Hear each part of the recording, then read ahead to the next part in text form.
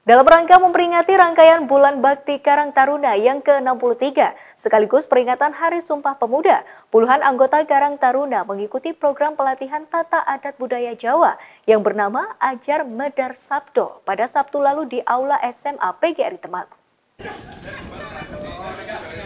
Pelatihan tata adat budaya yang bernama Ajar Medar Sabda merupakan sebuah program khusus dalam rangka peringatan Bulan Bakti Karang Taruna yang ke-63, sekaligus peringatan Hari Sumpah Pemuda tahun 2023. Acara ini diikuti oleh puluhan anggota Karang Taruna dari berbagai penjuru daerah di Kabupaten Temanggung atas kerjasama antara Karang Taruna dan Permadani. Kepala Dinas Sosial Kabupaten Temanggung, Heri Kardono, yang hadir langsung membuka acara mengungkapkan bahwa program Ajar Medar Sabda merupakan sebuah pelatihan yang sudah sangat langka di tengah kalangan generasi muda. Terlebih, saat ini telah banyak anggapan atau stigma yang menyebut bahwa orang Jawa telah kehilangan Jawanya.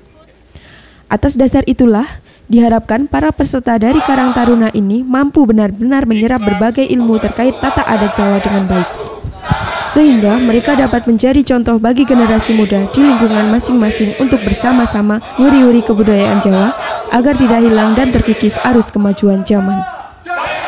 Jadi saya selalu mewakili pemerintah kabupaten mengapresiasi ini teman-teman Karang, Karang Taruna ini mengadakan bulan bakti Karang Taruna yang ke-63.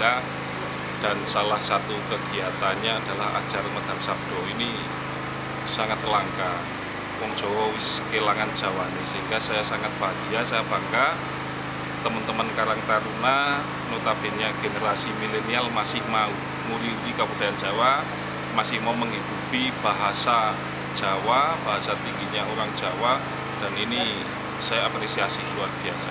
Kalau ke depan ini Pak harapannya pada teman-teman Karang Taruna ini apakah bisa meng, apa, meng, menerapkan ilmu ini ke masyarakat seperti itu? Mudah-mudahan dari sedikit, paling tidak saya ingin kolaborasi terus dengan Karang Taruna, bukan hanya di bidang medar sabdo ini, tapi PL Kabupaten Temanggung ini masih banyak, termasuk angka stuntingnya tinggi.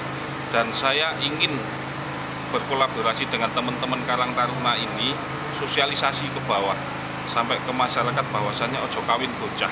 Sehingga teman-teman ini kan yang tahu kondisi generasi Z, generasi milenial sekarang di wilayahnya mereka masing-masing sehingga dengan mereka mau membantu kita terjun ke lapangan saya yakin pencegahan kawin bocah ini bisa dilakukan optimal di Kabupaten Temanggung. Tak hanya untuk melestarikan adat budaya Jawa, lewat momentum ini, Heri Kardono juga meminta agar para anggota Karang Taruna dapat menjadi perpanjangan tangan pemerintah setempat, khususnya dalam mengurangi problem stunting. Rizal Ivan, Temanggung TV.